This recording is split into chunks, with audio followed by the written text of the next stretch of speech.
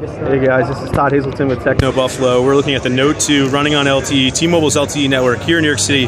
As I'm reminded by my cohorts here, nobody's on this network now, so it's going to be really fast. But in any case, let's see this. So 57 megabits per second down. It should be 58 if we want to round it up. Oh yeah, we've and been, 22 up. We've been getting anywhere around 60. We've been Okay. seeing 60. Obviously, everyone's probably doing a speed test right now. All right, so we're seeing up to 60. Yeah. Um, not so bad. The upload speeds are awesome too. Yeah, indeed. Somewhere around 20. See, I'll show you some of the results.